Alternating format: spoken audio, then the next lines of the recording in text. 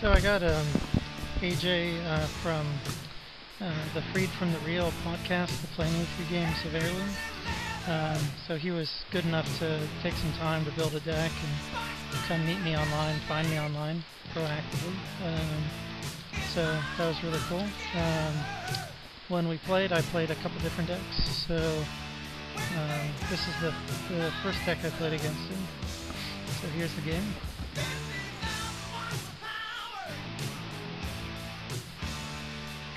Here's uh, go off my Elf's Deep Shadow. Hand seems perfectly fine.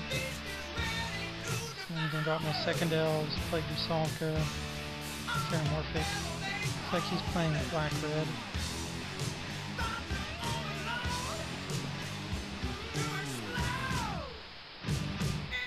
So here are a few options. Um, certainly I have free mana. I can drop another Traitor, Ooze Garden, or Jinxed Idol. Um, I decided to go with the Ooze Garden now. So, he drops Phyrexian Totem. That's an interesting card. Um, mana Accelerator plus becomes a big creature. Uh, it's trample, and it can block two creatures. Definitely a versatile card. So this deck has Living Plane in it to start killing all your opponent's lands.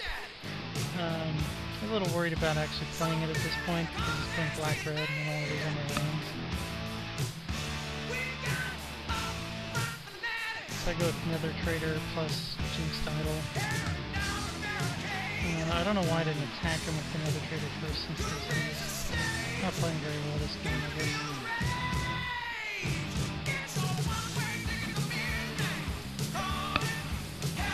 I guess. Now here he plays Murderous Red Cap, so obviously things are not going to go well for our hero here.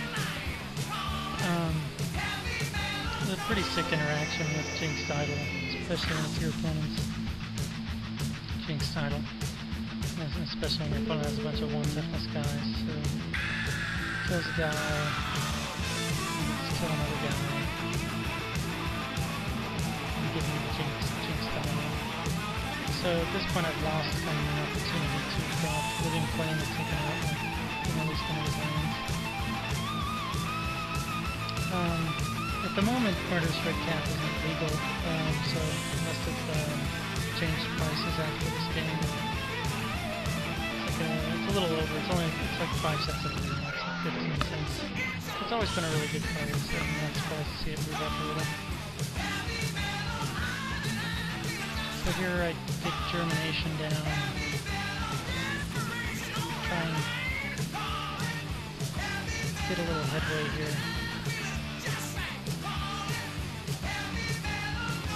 And then he, uh, his acceleration, is able to drop a Deathbringer Thoctar which is pretty horrible. I mean, uh, probably one of the worst things that he can play against me, just because my deck has so many one toughness spells. So he's just able to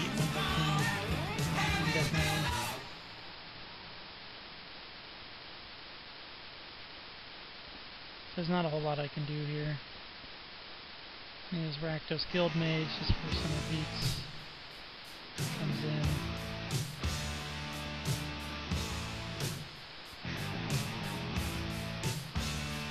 I was just trying to get Jinxed Idol back over to him.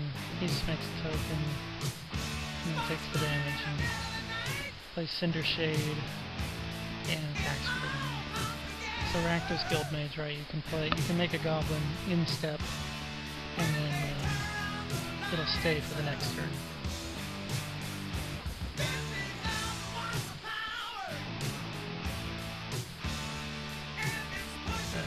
Pretty one-sided there. But an interesting interaction there. I haven't seen a black-red deck yet, so that was uh, so that was interesting. It's good to see what the potential is. Deathbringer Thoctar is definitely a really good heirloom rare.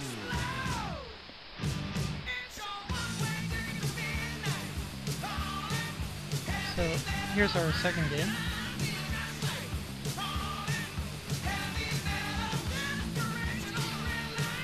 Uh, this time I play my affinity deck. Um, I was just kind of curious to see um, what it would do. Um, obviously, with all this removal, going off with Archmage is a little less likely, but uh, if I can drop a bunch of guys that have high toughness, then you know maybe I get through anyway. And Force Spike, you know, some kind of higher casting cost spells and whatnot should slow them down to some extent.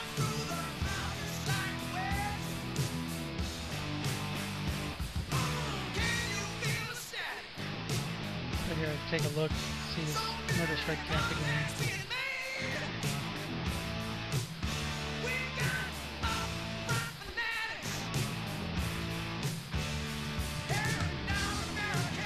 About playing Retract in this deck. And the Rush of Knowledge would be really good too. Cards I haven't put in yet. They managed to play the Signet without being able to Force Spike it. I'm just gonna play the Talisman there.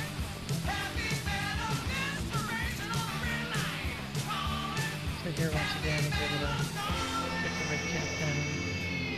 Not too worried about it though. So here, able to drop the Golem for two, which I just fed off his guy.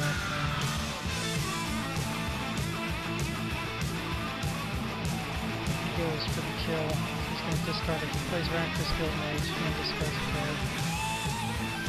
He's six mana already, which is troubling. But I'm able to just use Aether Spellbomb to return him my hand. Seems worthwhile since it's going to be pretty cheap. So I drop my Archmage, drop a Spire Golem, drop a second Spire Golem, playing some cards, getting back some of the card disadvantage. Here he drops Platinum Angel, um, pretty good card in the format. Legal because it's a mythic at its highest rarity, um, so it still comes in under the price cap. So here, zero cost artifacts, pretty darn good. I'm just kind of going off, a whole bunch of cards.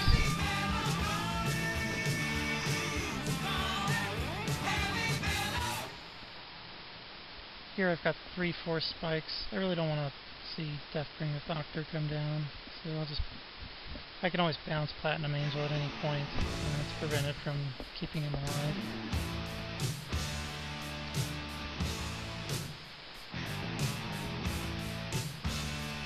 So here I get two more zero casting costs, and then another Archmage. So the second Archmage always creates the potential just to kind of go off right there, and then it's two, two cards, um, more than 50% of the deck is artifacts, so every time I draw two cards, chances are I'll just draw another artifact and be able to keep doing it. So here I've gone off.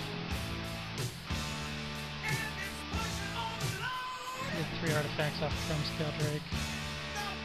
Um, AJ is a little bored at this point. uh, understandably. So there's my card to lock up the game.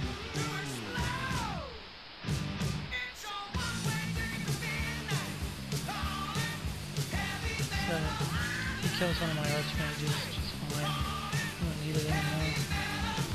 To kill my second one, I'll just return. I forgot my baubles in there. That's a mistake. So I drop in. Here I'm just gonna build up hardware presence and bounces, platinum angel. And I've got force spike up, I've got Aether Spellbomb up. And I've got four, five, six, seven damage on the.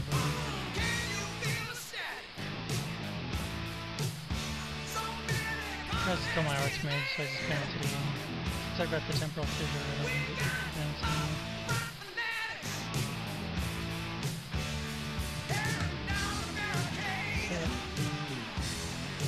since I know what party hand, I don't have to worry. I just go for the kind of flashy finish here. Although Temporal Fissure is kind of flashy, it takes forever, so I just pump 14 mana into Sigil of Distinction, equip, make it 15, 17, Spire Golem, hoping.